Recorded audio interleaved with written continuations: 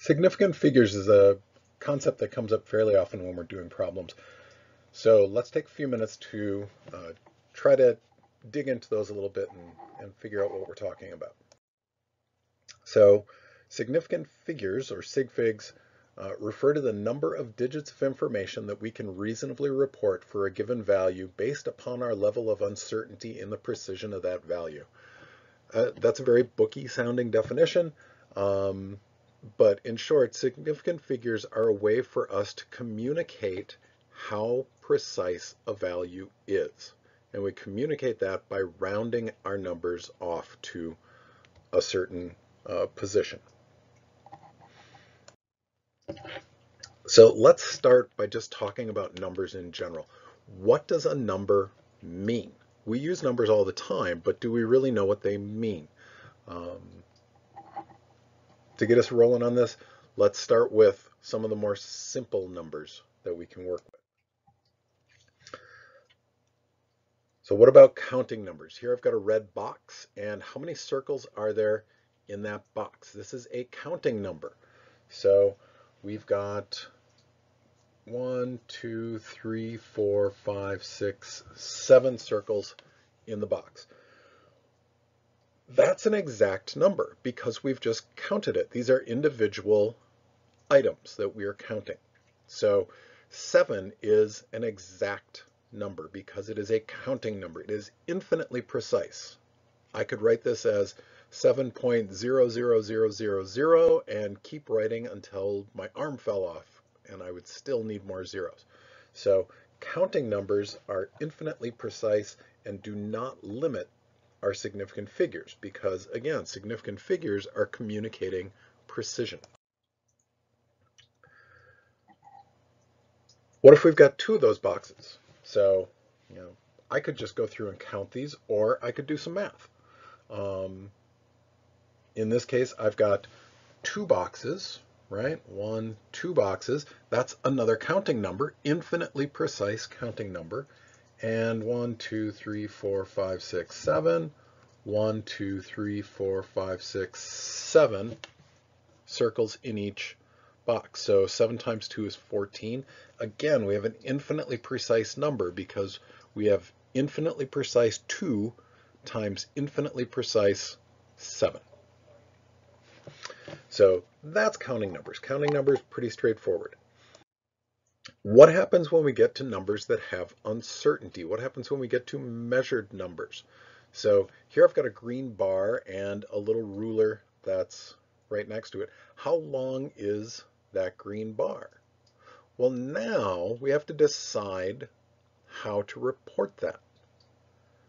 And this is something that is sig figs, but it's sig figs that you've used.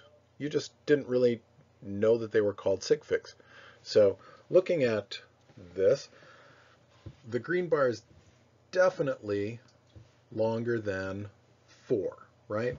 And it's definitely shorter than 5. So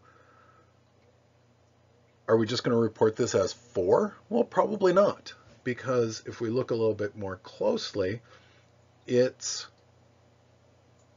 somewhere between 4.4 and 4.5 5. Now, I don't know exactly where it is. I'm going to have to estimate it. And when I estimate it, that means that there's some uncertainty in my estimation. I know that this is at least 4.4 units long, but what about that last digit? That last digit, you know, let's call it a 6. Um, is it 6? Yeah, I don't know.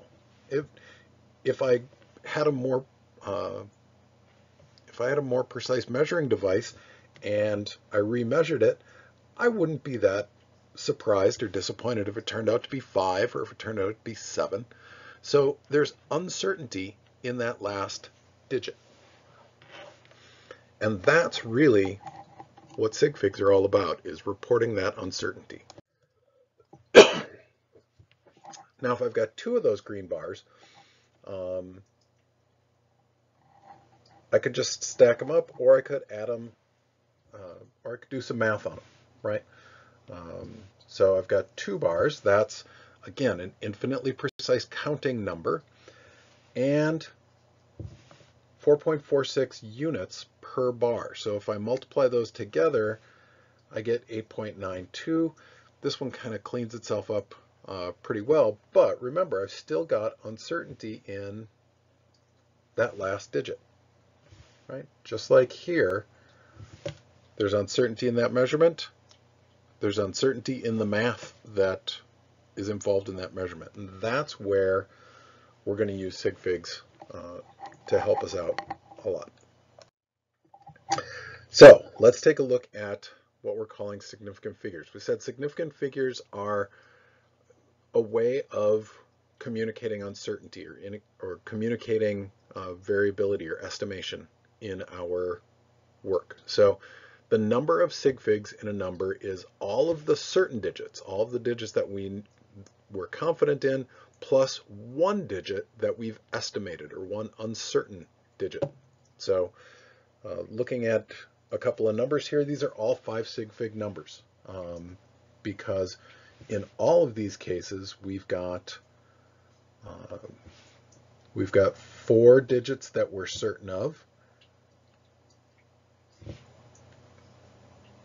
and one digit that we had to estimate. So regardless of where the decimal point is, these are all five sig fig numbers. The big problem or the big challenge that takes a lot of interpretation when we're doing sig figs comes down to zeros. And we've got a few different types of zero to work with. So start with the easiest of these. What about a zero that's in the middle of a bunch of other numbers? Well, that zero and a bunch of other numbers has to be significant because if the numbers on both sides of it are known, then that zero must be known as well. So zeros between digits are certain digits. So those count as sig figs. Leading zeros. When we've got a number that's less than 1, leading zeros are really just holding place for us, are really just telling us where the decimal point goes. So they're not significant uh, significant digits. They're not telling us information, they're just telling us magnitude. So for a number like that, the 6 is a certain digit, the 3 is an uncertain digit, this is only two sig figs. Trailing zeros cause lots of problems, so we're going to talk about those quite a bit. But trailing zeros um, are placeholders, just like leading zeros, right? So in many ways, these two are similar. Trailing zeros, leading zeros are just holding the decimal place so they're not significant.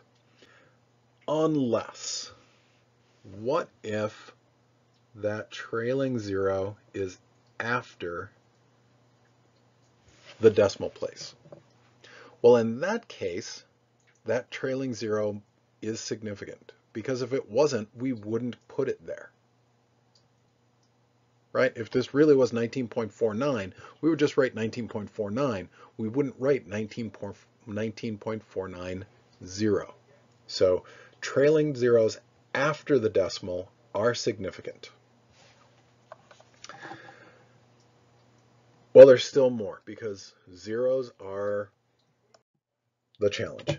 Um, what if we're working with a number like 30? 30 could mean a lot of things, right? 30 could mean that I've got 30 items. And then my 30 is a counting number and it's infinitely precise. 30 could also be a measured number. And if it's a measured number, now we've got a bit of a dilemma because is it a one sig fig measured number or a two sig fig measured number? For that, we often need to rely on a little bit of context. So um, just as a, a quick little look here, one way that we can be explicit about that is with a decimal point. If we specifically put the decimal point in that's implying that that zero must be a significant figure. So that's one way we can do that. One clue we can look for. Uh, one of the challenges there is what if 30 comes at the end of a sentence? Hmm, then it's going to have a period at the end that looks like a decimal place but isn't a decimal. Well, let's look at more of those trailing zeros. What if we've got a bunch of zeros and some of them are significant and some are not based on our measurement? So something like this, where we've got a couple of zeros that are significant and a couple that are not. Um, honestly, those are just hard. But fortunately, we've got a very helpful way to help us work on that. If we just switch that over to scientific notation, it becomes very obvious that the two zeros are significant and the other two are not because the other two just go away. And the two that I've got shown are right trailing zeros after a decimal place. So by showing them, they must be significant figures.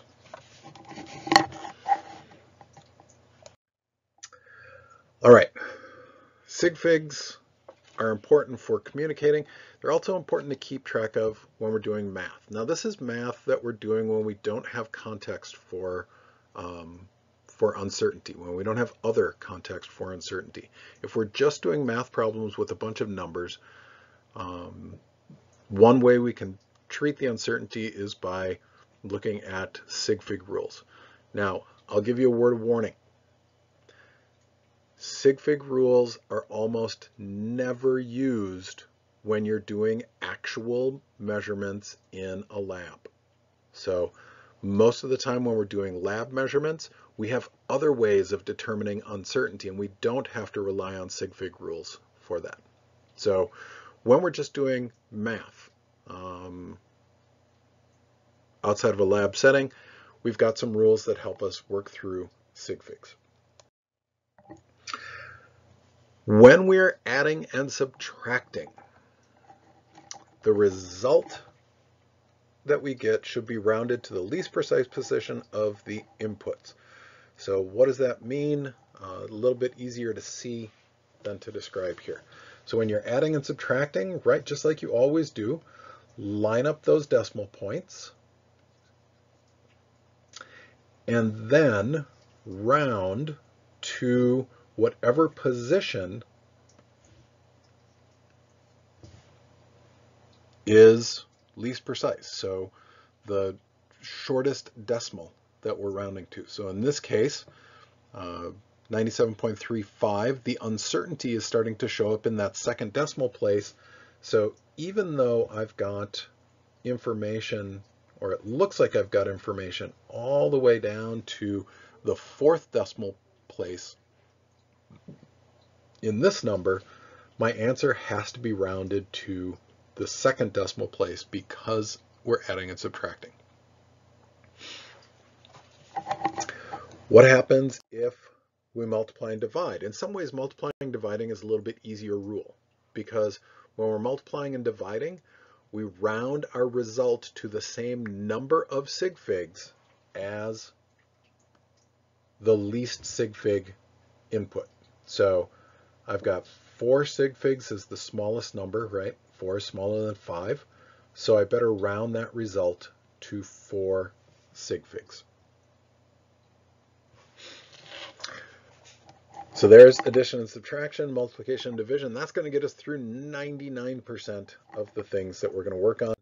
Uh, what if we've got mixed operations? Mixed operations, we do them in exactly the same way that we would if we were doing uh, when we're doing the, the math, right? So in this case, I've got um, I've got numbers enclosed in a parentheses, so that's going to be evaluated first.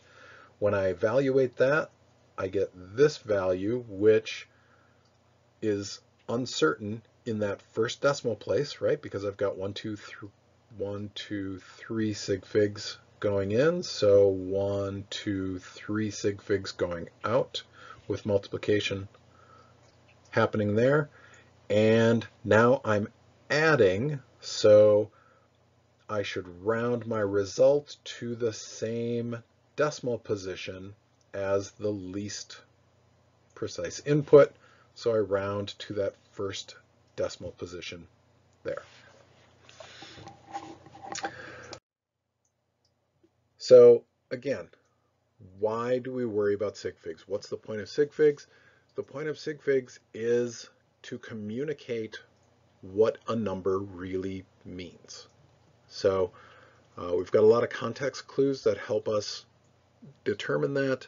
Sig figs is just one of the ways that we report numbers to be specific about their meaning and about their uh, accuracy and precision.